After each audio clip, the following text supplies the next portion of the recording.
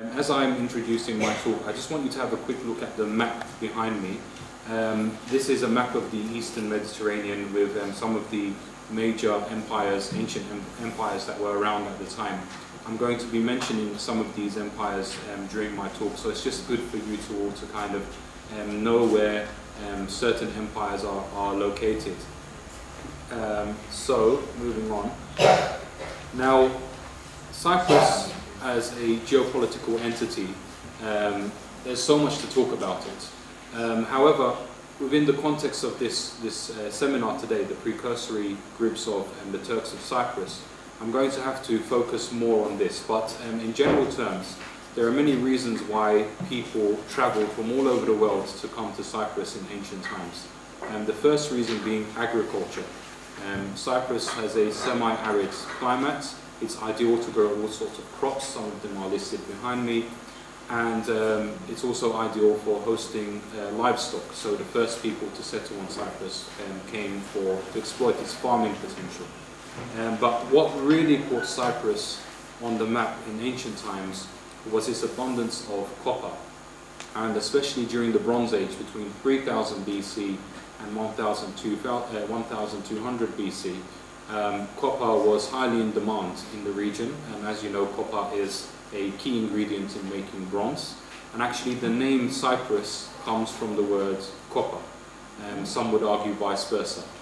Um, I'm not too sure on that one to be honest, but there is a link there. Um, another thing that made Cyprus um, hot property in ancient times was its potential as a um, trade hub in the eastern Mediterranean. Um, Cyprus was located at a crossroads of many empires, um, Hittites, Assyrians, Phoenicians, Egyptians, Persians, they were all trading in the eastern Mediterranean and Cyprus was in the middle of that. It was a peaceful hub um, during that time. So actually, Cyprus, you could say, was the Switzerland of the Eastern Mediterranean um, in the ancient times. However, this was a very short-lived honeymoon because around um, 1200 BC, at the end of the Bronze Age, um, naval warfare became a thing. In fact, Cyprus was involved in the first historically recorded um, naval battle in history. That was between the Kingdom of Alasya, which was based in Cyprus, and the Hittite Empire, which was based in Anatolia.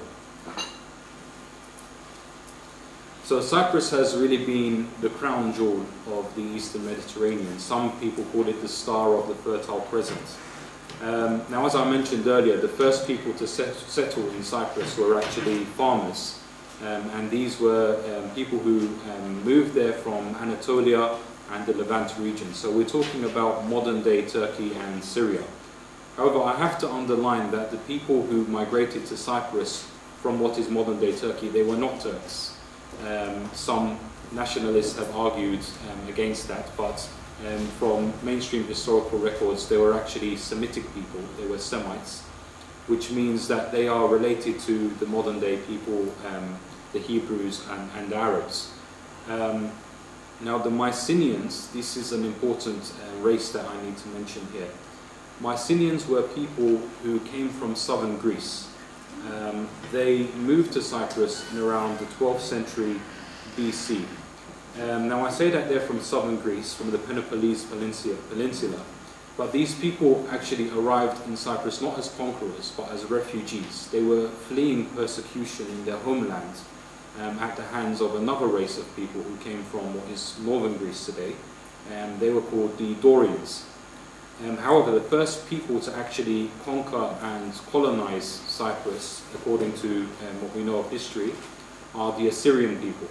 Um, the Assyrian people conquered Cyprus in the 8th century BC, and they came from the Mesopotamian region, which is basically the border of what is Syria and Iraq today. Um, Around 200 years later, um, Cyprus was conquered by the ancient Egyptians.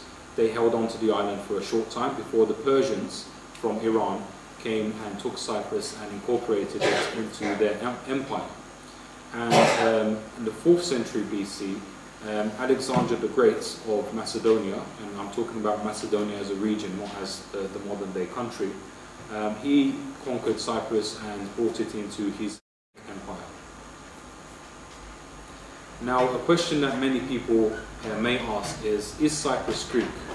Um, I did mention that yes, Mycenaean people uh, migrated to Cyprus um, in the 12th century BC from southern Greece.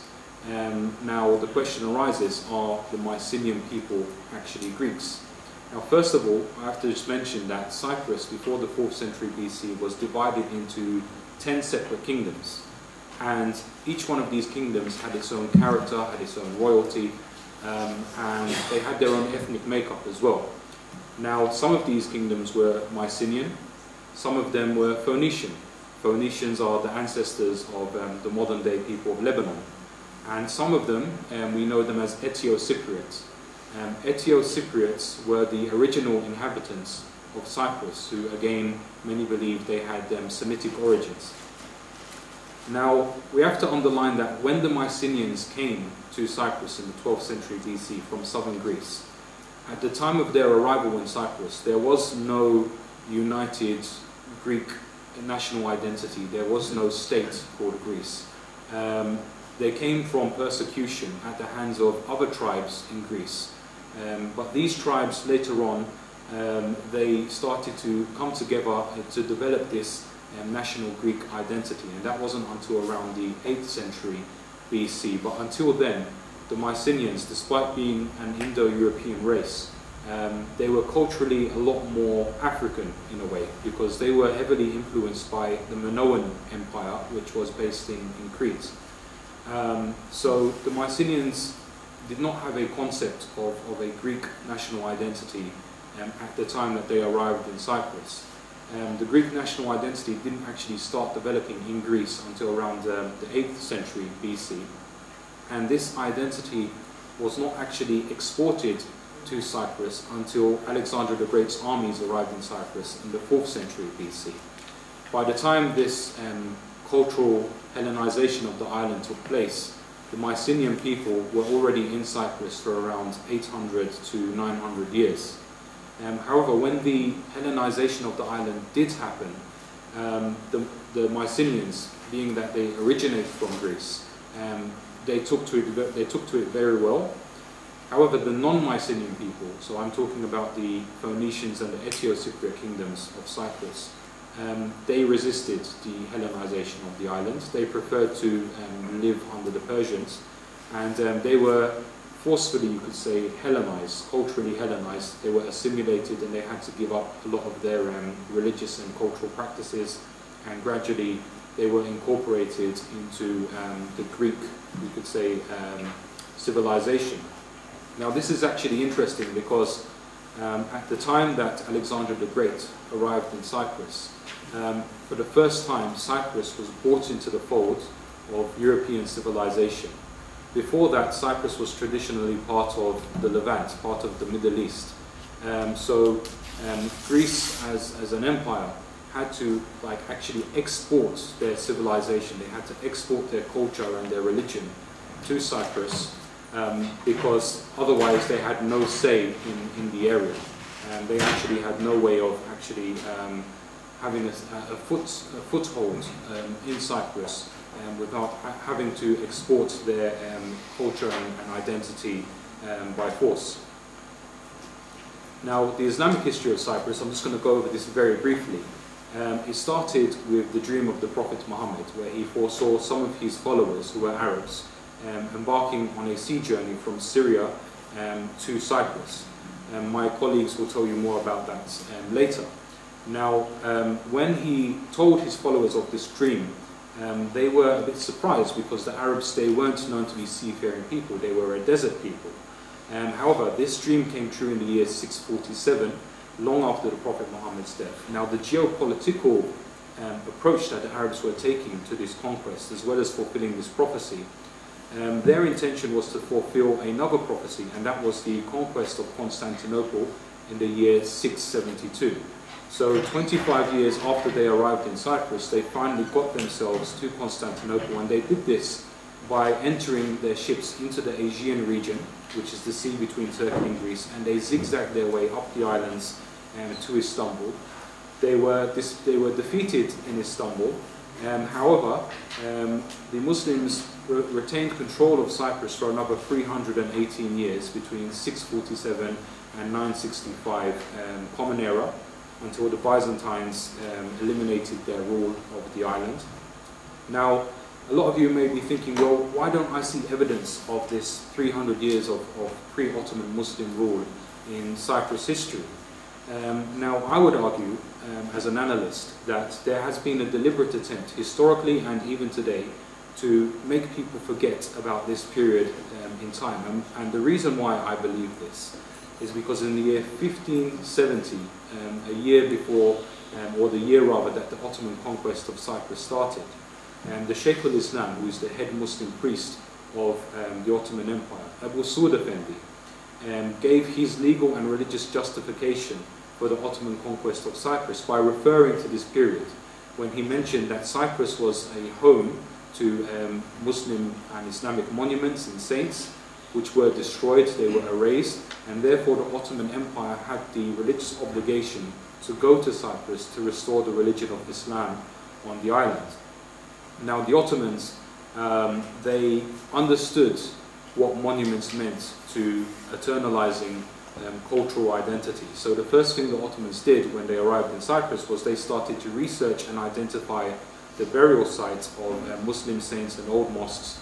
And um, for example, the Hala Sultan Mosque today, which was built in the 1700s.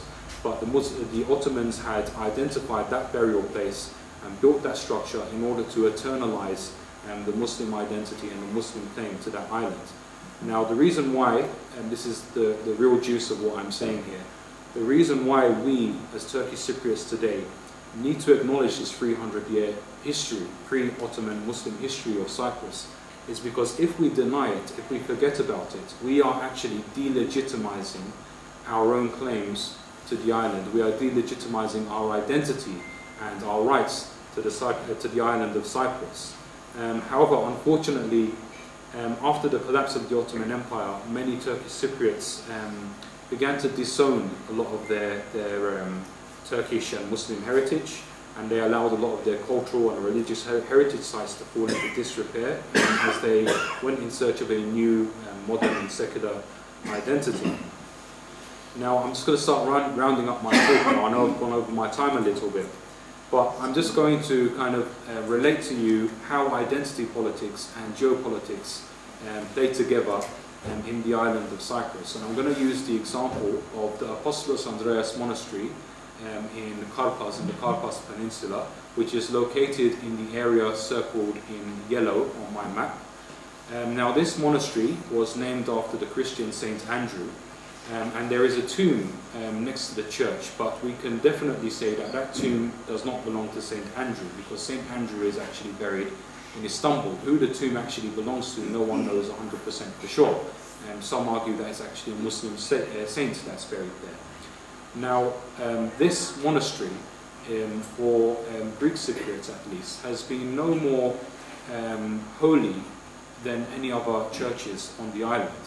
Um, yes, local people, Turkish and Greek, were visiting the monastery, but it was not seen as a place of pilgrimage from great distances until the year 1996 when Greek Cypriots started to organize pilgrimages from the south um, to the north just to visit this church.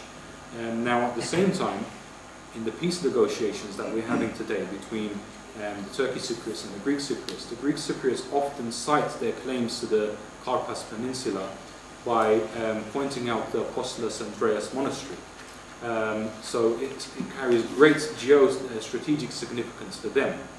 However, when it comes to the Turkish perspective, um, it's very dangerous for Turkey at least to allow the Karpas Peninsula to fall into um, quote-unquote um, enemy hands because the Karpas Peninsula is directly located opposite two main seaports on the southern um, Turkish um, coastline, that being Mersin and Iskenderun.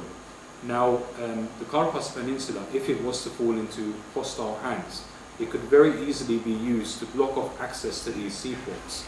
Um, so if that was to happen, Turkey would not be able to get its cargo ships or warships um, in and out of the Bay of Iskenderun, the sea between uh, Turkey and Cyprus, into the open seas. Um, so Turkey really needs um, an ally in Cyprus, um, in, in realistic context, the Turkish Cypriots, to remain in Cyprus to safeguard its interests um, in the Eastern Mediterranean. And that's why when the Turkish Republic was first founded, they sent an, an ambassador. Their first ambassador to Cyprus was a man called Asaf Bey. And Asaf Bey was actually helping, when he first arrived, he was helping Turkish Cypriots migrate to mainland Turkey.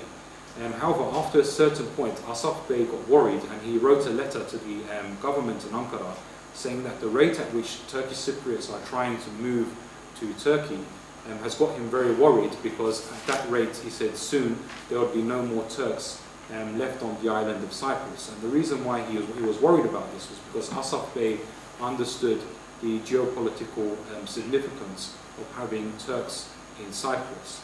Um, and with that, I just want to pass on um, to Mustafa, who will explain a little bit more about the, the 300 year period that I mentioned.